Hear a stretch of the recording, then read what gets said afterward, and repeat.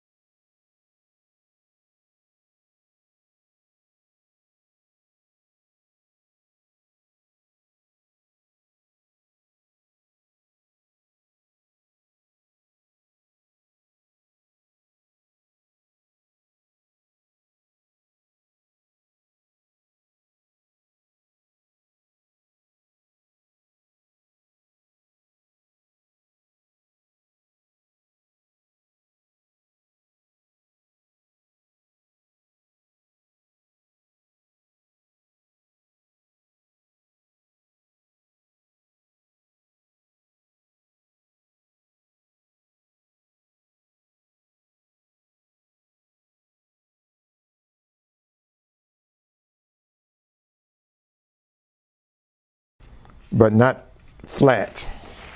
I keep getting brown in my brush. It's not going to matter in the long run because I'm going we're painting a, a grove of trees. So I use my brush just now to pick up some of that paint. I'm going to use my brush to pick up some of this paint, go back over it with blue. Okay. Now you can let that dry or you can get your hair dryer, put it on low, place it on low. Hold your paper so that you don't blow your paper away.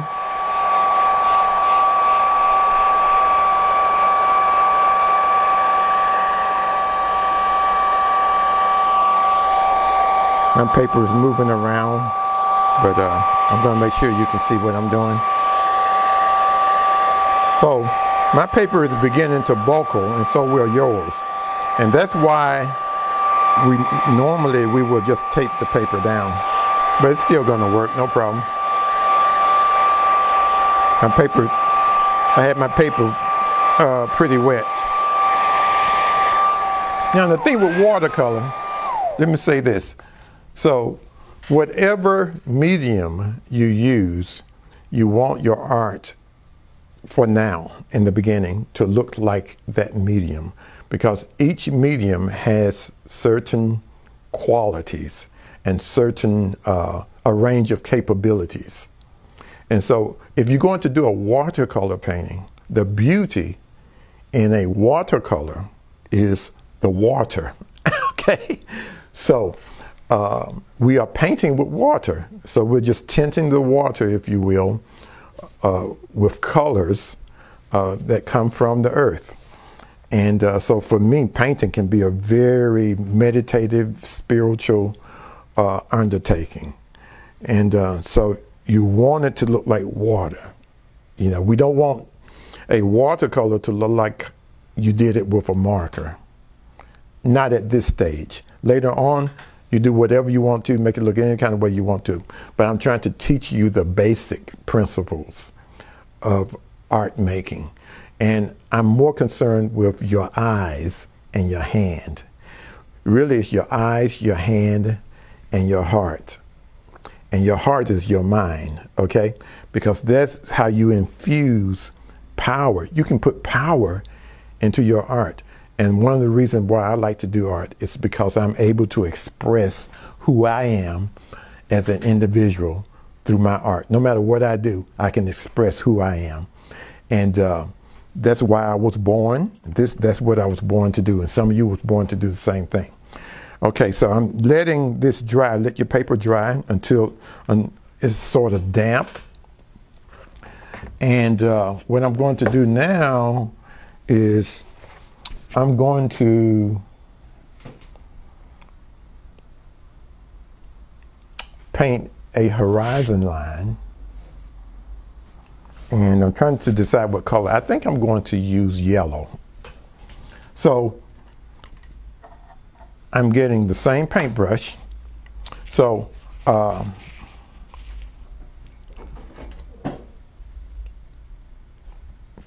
this is my particular way of, of making art, okay? Other artists would do this totally different. So the best I can do is show you how I do it because I know how I do it. okay?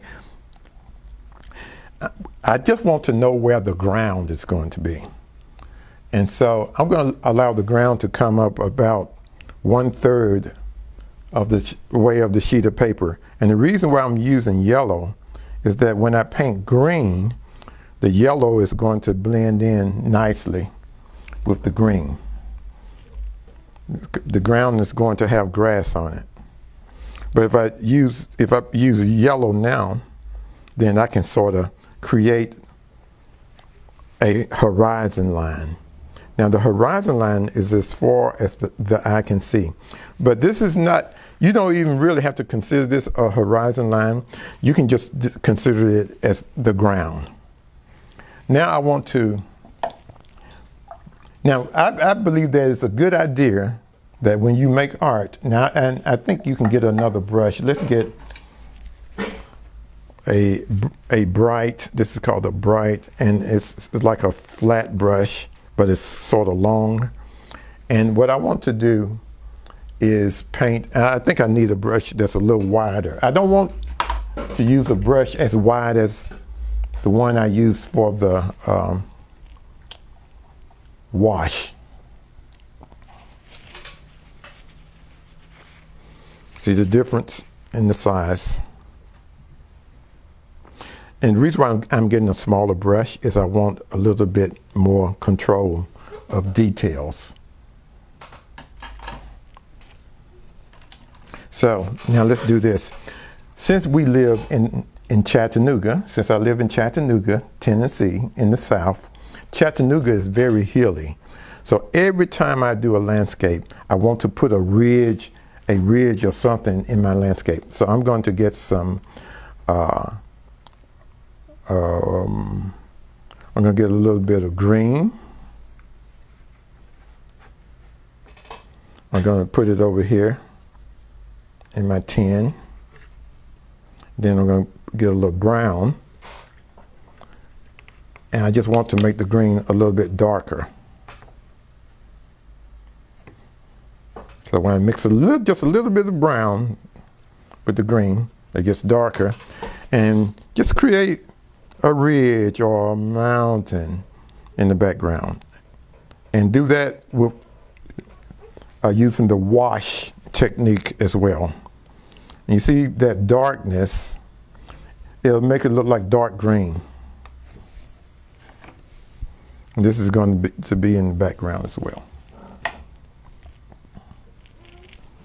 Now, remember kids, it's okay to mess up. Sometimes when you make a mistake, your art comes out better. Things can happen that you did not uh, uh, plan, and that is good when that happens.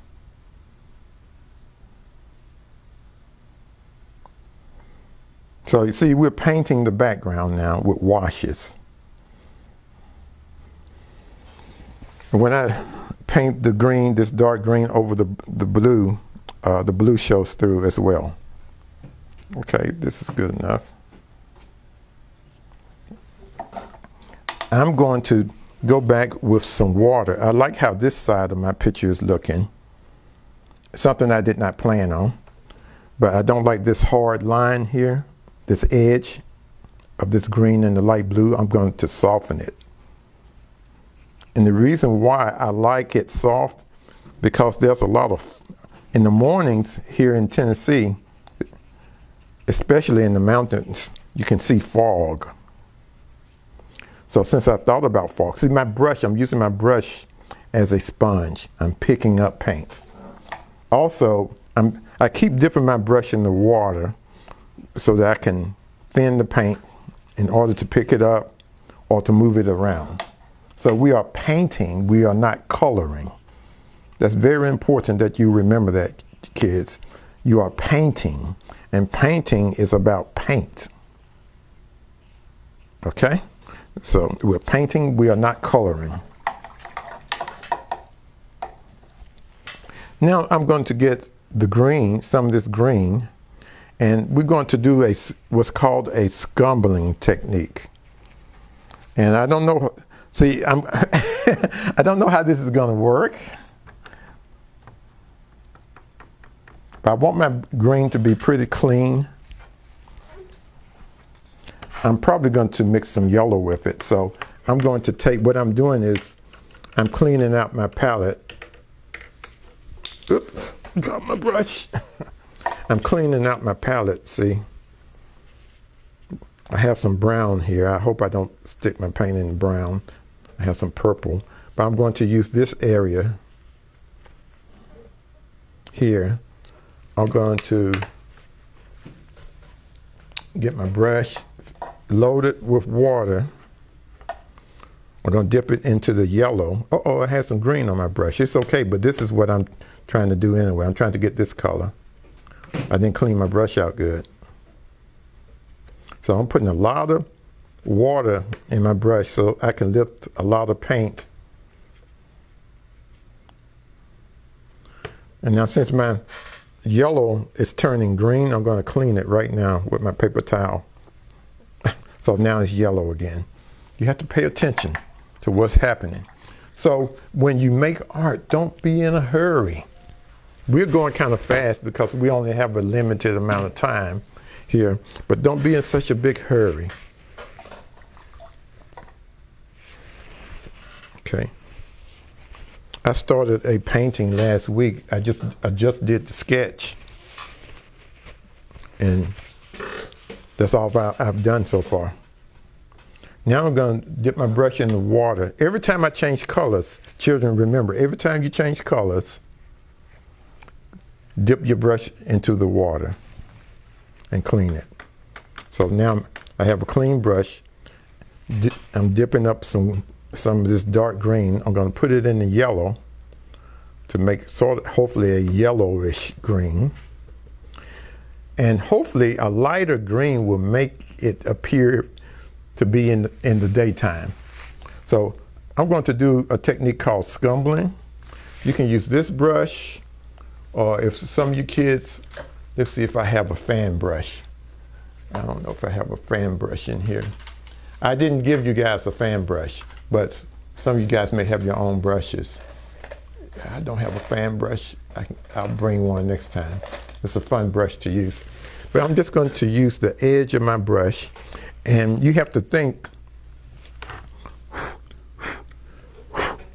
think grass.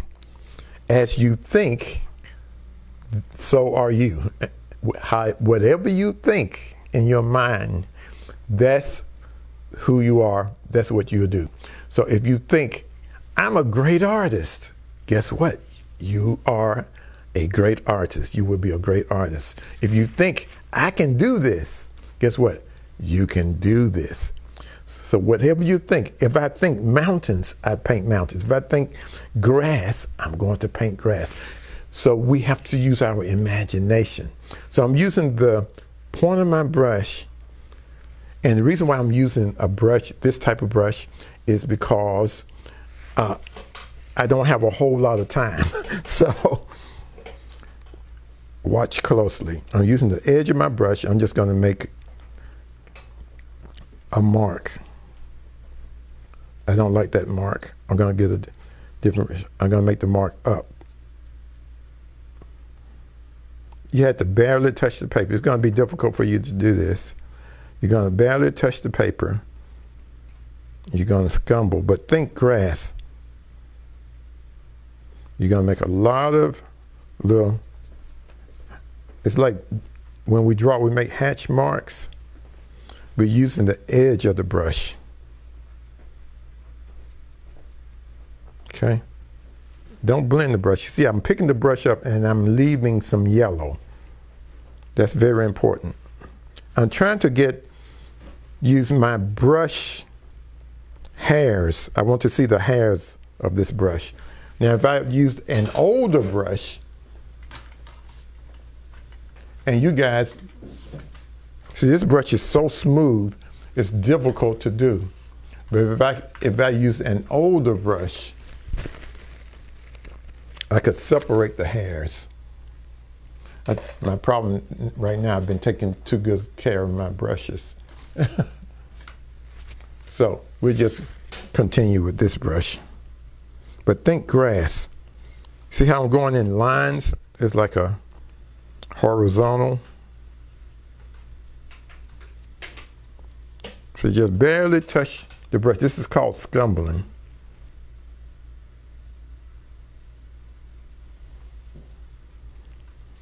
And think in your mind, this is going to be grass.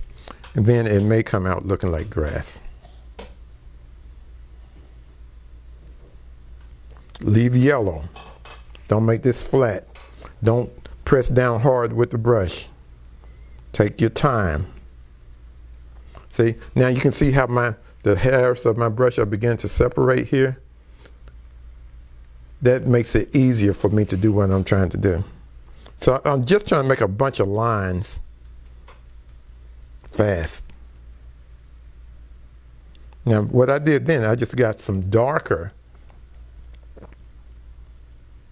So you can see the hairs of my brush now that I've kind of messed my brush up a little bit. I'm getting some darker green. I'm going to intersperse this darker green with the light green. So hopefully it'll look like light is hitting the grass in the foreground. So those of you who are my students, you know I said that the uh, we're going to do a background, a middle ground, and a foreground. The mountain is the middle ground, and we're going to put some uh, trees there, and that's going to be middle ground. Now, if you get some paint your brush mixed up with a little brown or something, I'm going to do it on purpose this time. So I got I have brown on my brush. It it works.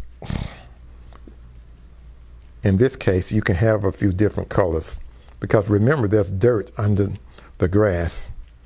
But you have to control how much paint is in your brush. It's up to you. You are in control. This is your painting. It's not mine. Your painting won't look exactly like mine because you are an individual. And what you create matters. It's important that you be you. So I'm going to get some dark green to just show that some areas there's not a lot of light hitting.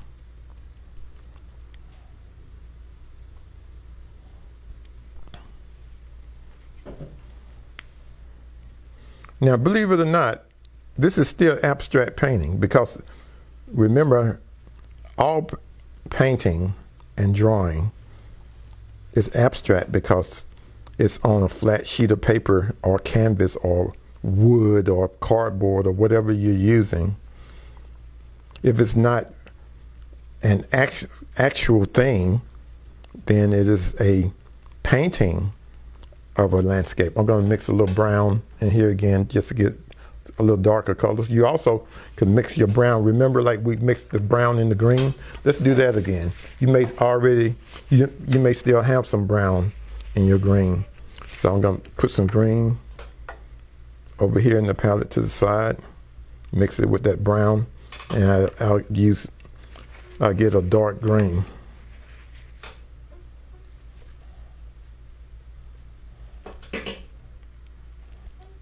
mix a little bit more green.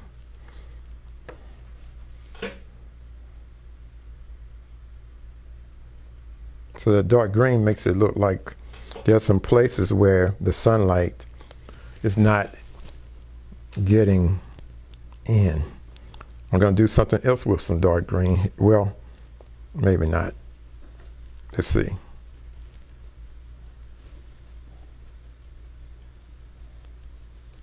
The yellow is important. The yellow underneath this green will keep the picture from getting too dark. Now we're getting ready in a minute for the coup de grace. So we are, coup de grace means it's like um, we're going to make, hopefully, make this picture really stand out and sing. Now I'm going to use this brush here. You could use a brush that's smaller, but I want you to use a flat brush for the next part when we finish with the grass. When I say finish, that don't mean we're actually finished, but we'll stop on the grass and go back to the grass. So, uh,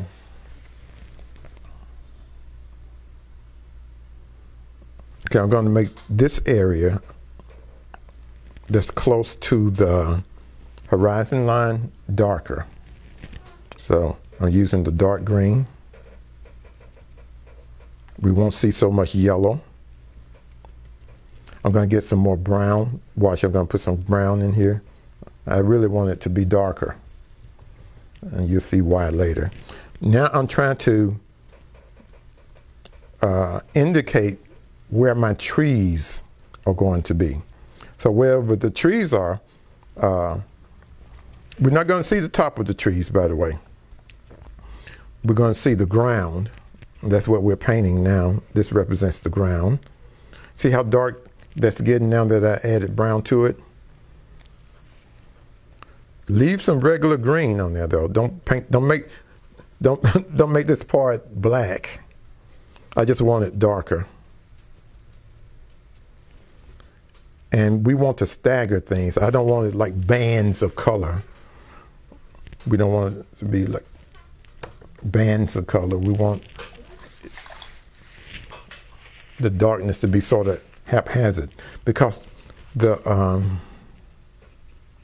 I'm going to raise this little part up a little bit so it's not so straight because I want it to look like a knoll, a knoll, like a grassy knoll. So raise it up. I'm still thinking grass and I'm thinking shadows. So the area that's closer to the bottom of the paper is lighter. You see that? I want to keep it that way. So when your eyes see the yellow and the yellow green, it will make the, the bottom of the paper appear to be closer to you, hopefully. I always say hopefully because you know, we never know how it's going to come out. We're just trying. Every time we paint or draw, it's an experiment, okay? And it is okay to fail at this. It is okay to make mistakes, but you will never learn if you never make mistakes. You find out sometimes mistakes, you can use your mistakes because you can say, hey, it didn't work for that, but that mistake will work for something else that I'm making. So we're not trying to be, we're doing, we're giving 100% though. We're trying our best. We never quit, we never give up because we keep a, a positive attitude in Splash. We're making art, so we can have a positive attitude. Don't judge yourself. I'm the only one who can judge, you know, in, in splash class, either myself or my wife, and because we are professional artists. And only, we critique and we judge in order to make you better. We, we always can uh, show you a way to make your art better. something that you'll be proud of. And like I was saying last time, Most kids do these um, projects better than me, especially the abstract ones, the non-objective ones. Okay, so now we have some dark area and we have light area. So now the eye can slow down and travel, hopefully in this direction. This the eye sees the yellow first because yellow is a warm color. Now, here's the fun part. And these classes are for artists of all ages. And I'm well aware of that. Since we are doing live studio, I don't, don't know who's watching. So it may be one of my 18 year olds watching. So what we're going to use, I'm going to use this brush. You could use a wider brush, but I suggest don't use a brush that's too wide right now. And I'm going to get some green. I'm going to mix some green with brown again. But the last time we did that to, to make dark green. This time we're going to do that to make brown, uh, a dark brown. Well, we're not going to do the dark brown yet. Let's do a light brown first, I'll show you. I'll show you why later. We're going to paint the trees twice. So this is how we're going. We're going to paint the trees up the way they grow, from bottom, from the trunk up. Okay, I do need a wider brush for my first tree. So we're going to paint the tree in a brown, sort of a light brown, because we're going to use thin paint. And then we're going to go back over it with that dark greenish brown. Should we do it that way? Why not?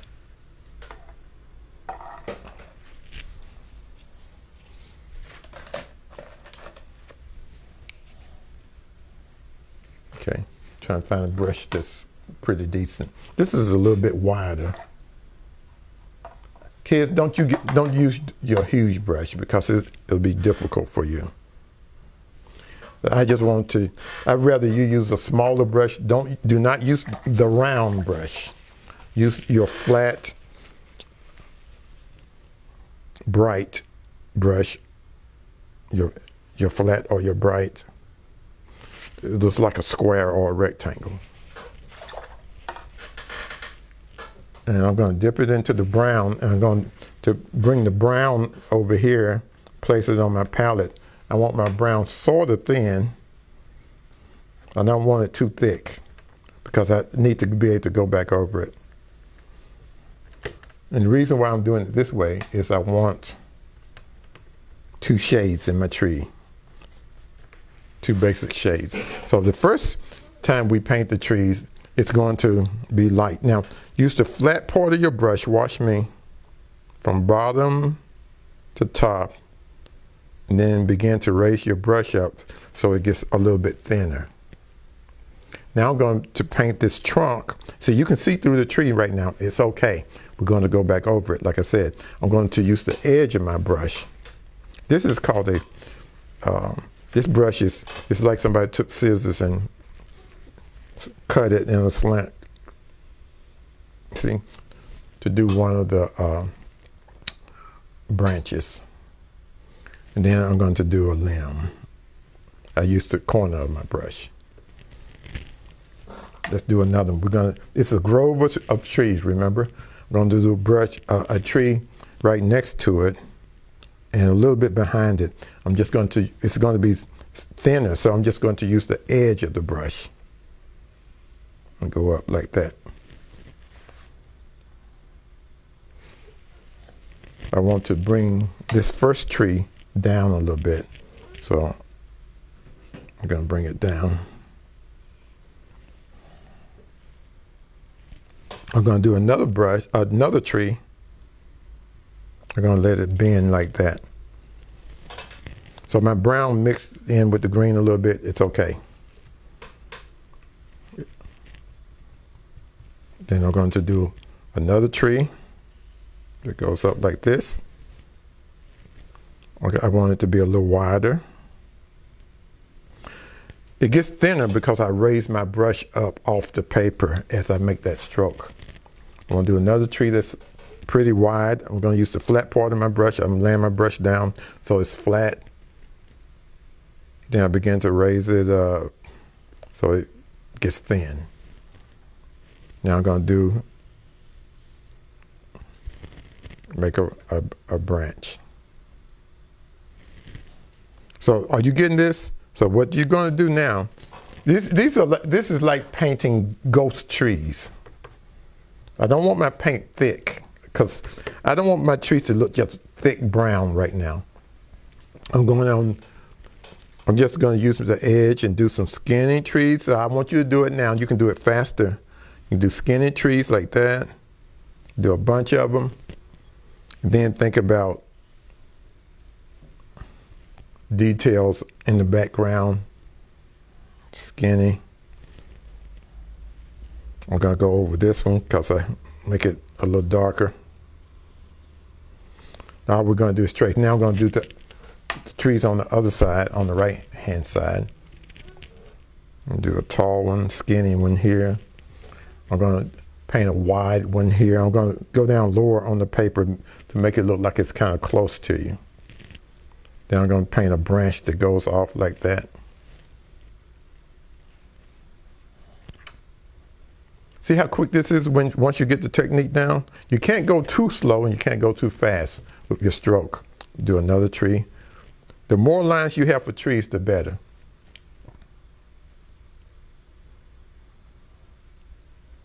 I'm going to do another wide tree here. This one is going to be the widest, so I'm going to use two strokes. See? And this, I'm going to bring it down even further on the paper. Want it to be wide. Now we're going over these trees. So they don't have to be perfect. Then put some trees in the background, put some branches in the background. See, each one of these lines represent trees. Now, don't have them all level. Have them at different levels. See how I'm starting here higher on the paper than this one? This is so much fun, and you guys can do this. If you don't do it today, you do it next time. okay? So practice makes perfect. So I have a grove of trees here.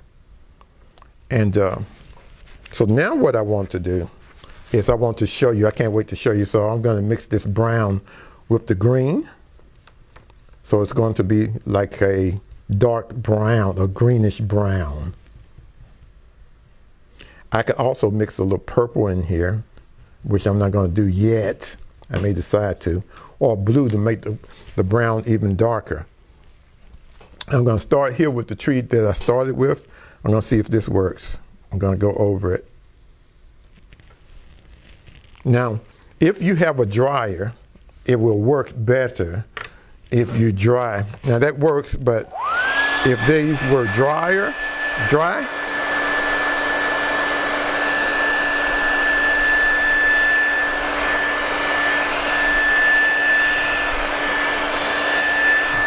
dry it a little bit. So what I'm going to do as I paint these, I'm going to be willing to leave some of the light brown on the left hand side. So when I watch how I paint this branch, see how I left a little brown there? I'm going to go back up and get this. So the light brown is going to be where the light is hitting the tree. So I'm painting really on the right hand side of all the trees I made. See, I just painted the right hand side. let your trees get a little wider at the bottom. We're going to make some more branches, but let's do these trunks first. I want my trunk, this first tree, I want it to be a little darker. I want my trunk to be a little bit wider at the bottom. So I just go back in. Nice. Remember, I'm making my strokes to the right, to the right hand side of the strokes I've already made.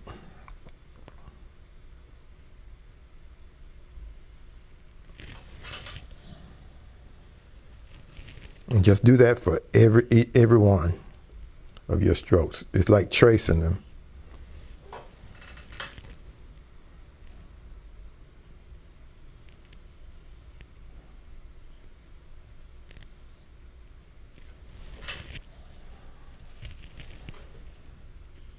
Paint from bottom to top.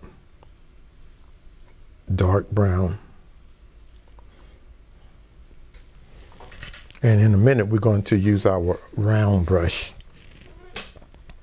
This one, I just want this one to be all dark. We're going to make the ones on this side a little bit darker. On the right hand side, make them a little darker. We're going to put some more branches, but we're going to use a smaller brush to do that. Now, I'm going to make the stroke on the right hand side.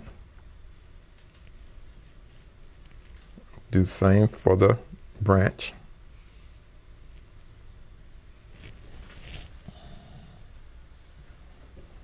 I can't wait to see your pictures. Be sure, Splash students, to text me or email me or message me. You can also message me. Now with this tree here, I really want to show at the bottom the roots. I'm going to get some brown. I'm, I want. Uh, I need to mix some green with it, or some blue. I'm going right now. I'm just going to mix green with it, like we've been doing, and make this kind of like branch out a little bit. Okay, it's too green. I need it darker. I want it to look more like a dark brown. See how I'm letting it flare at the bottom? I'm going to do it, do it to all of these, but this one especially. I'm painting the right hand side. Look how much uh, light brown I'm leaving. Because what? Look at what I'm going to do. I'm going to like, since this is a little closer to you, I'm using the edge of my brush and I'm thinking tree bark. I'm thinking wood. That's what's in my mind. Now I'm doing the other trees in the background, painting the right, the right side of it. Okay, now let's do the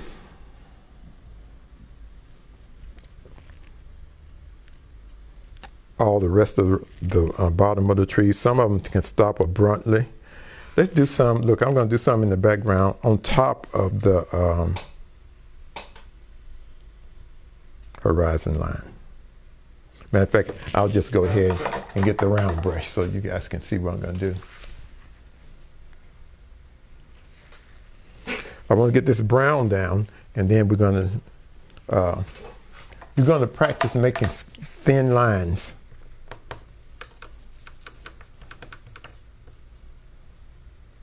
Mix the brown with a little bit of green just to make the brown a little muddy looking. I don't want it to look dark green. It can look dark green. That's another technique that you can use. Um, it's a mono, there's, it's a monochromatic monochrome technique. But so it doesn't really matter if your brown is a little bit too green. It's still going to look nice. I'm just going to put some trees in the background, starting at the uh, horizon, right there. See? And then you can put some that fall down below the horizon. Just it sort of makes it look like it's going back in space. Now, since we can't see the top of the trees, but we can see some little branches. Now, if you get your round brush and, and Many of you have a brush that's even skinnier than this one. I'm going to use the, the wide one, but I want you to use your skinniest brush, okay? And we're going to paint some limbs. And the limbs are going to, to be pretty high on the trees. use the tip of your brush. And the reason why I want to use my wide brush, don't you use, this is, this round brush is a number six. I don't want you to use a number six. I want you to use a much small, the smallest one you can get, you can find. The smallest one. Because you need a point. And I'm using the number six because my picture is going to look sort of like yours. Because I'm making it difficult. Barely touch the point of your round brush on the paper. Don't do not press down and just lightly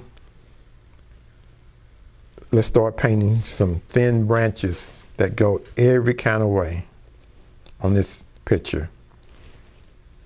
You don't even have to know what tree it's connected to. I just want some skinny, wavy lines. And I want hundreds of them. So you can't, you can't paint slow. Don't paint it like this. It's hard to paint a skinny line slow. But you know when you see trees, you see thousands of lines, right? So your lines can be wavy like that. You don't need to know what tree these lines belong to. I'm also going to paint some more trees that's shorter in the background like that.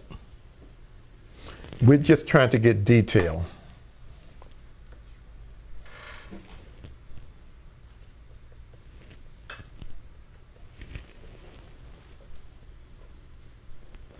And after we paint these branches, we're going to put a little bit more green on it and we'll be done. I'm barely touching the paper. They can be wild. We want a lot of them. See how I'm painting them? I'm barely touching the paper, just the tip of the brush. Every now and then I'll paint another tree in the background. See, whenever I'm painting uh, perpendicular, it's a tree. I'm just trying to make this look like detail, a lot of detail. Remember, we do small details last when you're drawing or painting. These are a bunch of branches. Whatever looks good to you. Your branches can be brown or dark brown. Green, it could be green too. They could be green. Paint a bunch of them, though, a lot of them. Because if you was in a forest or something, outdoors in a landscape, they would look very complicated. It's, it looks complicated, but it's not because you're making up everything. You're making up these branches here. You're saying this is a branch, that's a branch. Just the tip of your brush. This is good practice. You may not be able to do skinny lines yet. See, I'm using a wide brush. If I use a smaller brush, and this is a pretty large round brush, and Splash Kids in your uh, paint set, you have a very small brush. If you barely touch the paper, you're going to get some skinny lines. Dark brown and light brown, it doesn't matter. If you wonder how the branches should look, just, no, you probably don't have lines in your hand.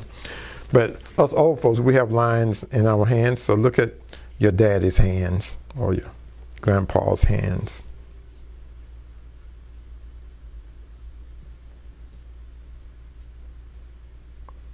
It's also like painting the veins of a leaf. Usually, the shapes that we see in nature are repeated. You see how the more lines you get, the more it begins to look realistic. The last thing we're going to paint is green, but I'm still painting lines. When we paint, when we start using green, we're going to try to put this green on thick. So your paper is going to need to be dry. If you have a hair dryer, you can go get your hair dryer now. If your mom asks your mother or grandmother if you can use her hair dryer. Child, what you want my hair dryer for? I'm painting. for art, art class. Lord have mercy.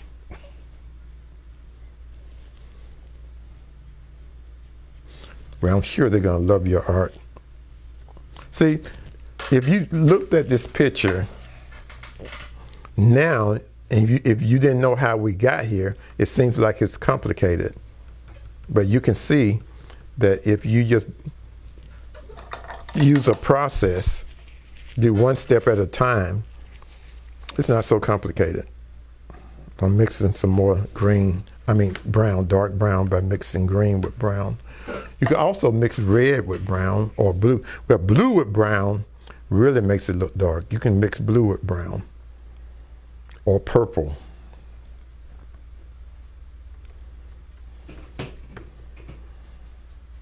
I may I may mix some blue with brown just so you can see what it looks like.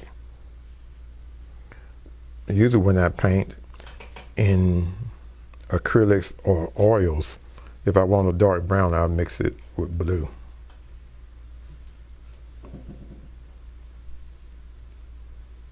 Now, if I mix blue with brown, this tree, I'm thinking about making this tree and that tree really dark, and maybe this one, parts of this one. So I'll, I'll do that and show you what happens. So I'm going to get some of this blue here, just a little bit. I'm going to mix it into the brown. Now, if it looks blue, it's not correct. So you see how this looks blue? I want it to look brown. I want it to look black, dark brown.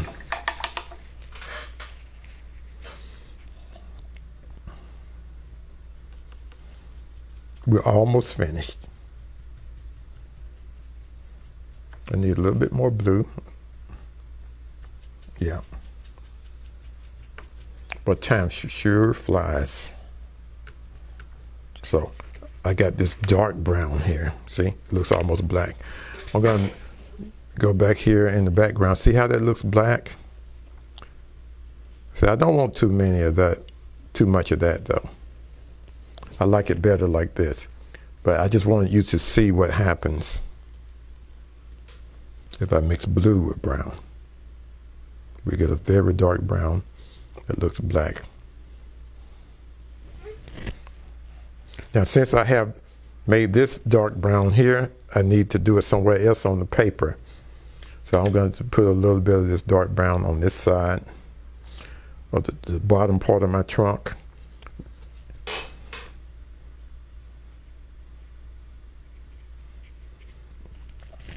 Now this is the next part is going to be difficult to do, but you need patience. It's not so difficult if you have patience.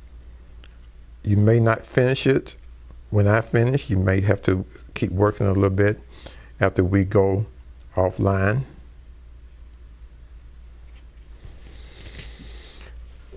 And that's because I have a hair dryer. Okay. So what I'm going to do now, clean my brush out. I'm going to dry this. It don't have to be bone dry.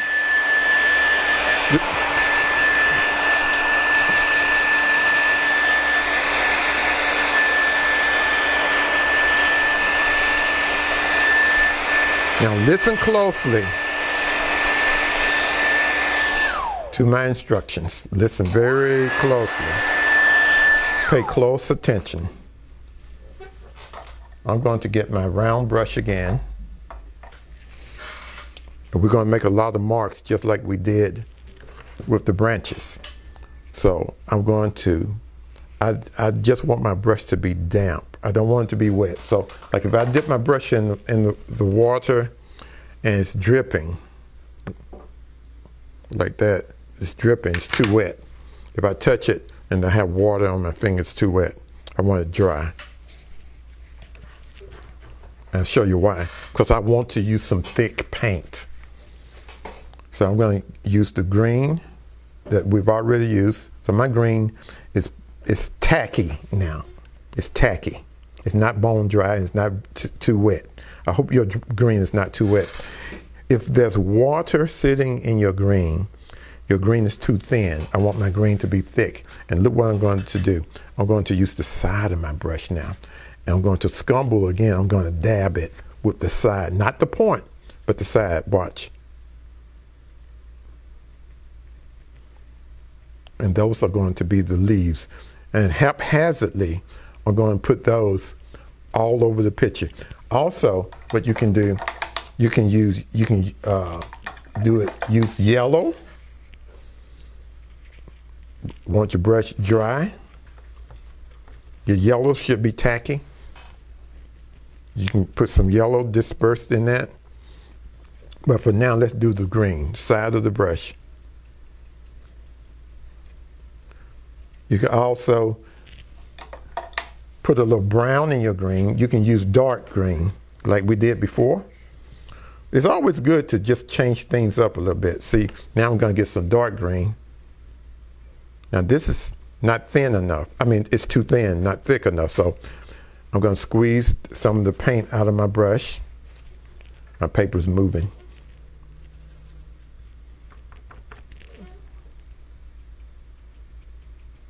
Just the side of the brush. Brush is still too wet.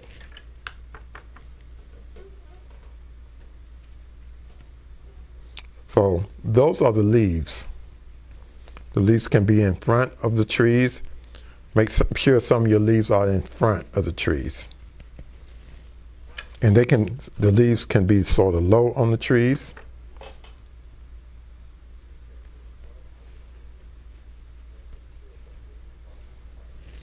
Now, when you change up, make make your uh, green darker.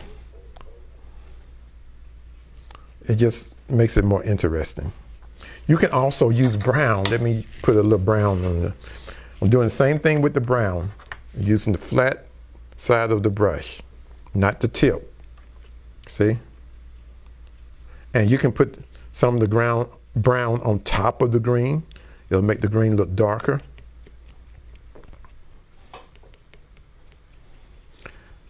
You could use yellow if you want your leaves to look lighter. Every now and then I have to wet my brush because the paint gets so dry that it won't come off my brush. So I'm putting some brown here. I'm going to go back with, with green. I'm going to do a yellow green as well. And you're going to continue to do that. I'm going to do a few more, and then I'm going to say goodbye to you. Now, do as many of these leaves as you want to. The more the merrier, okay? The more the merrier. And remember that art is for everyone. Mix, you can put some yellow in here. And don't forget to sign your picture, by the way. And send me some uh, photographs of your picture. Well, it's been fun. That's going to end another day of painting for us, Splash Live. Hope to see you again Thursday at uh, 5 o'clock. Remember, art is for everyone. Bye bye.